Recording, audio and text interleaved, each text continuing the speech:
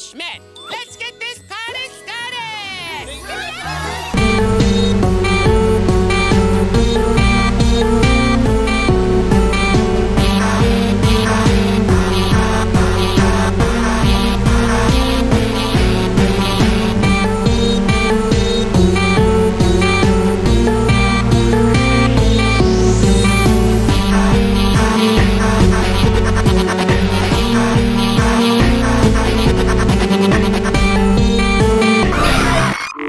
There's no superheroes left. We're the only ones who can save the universe. But I'm.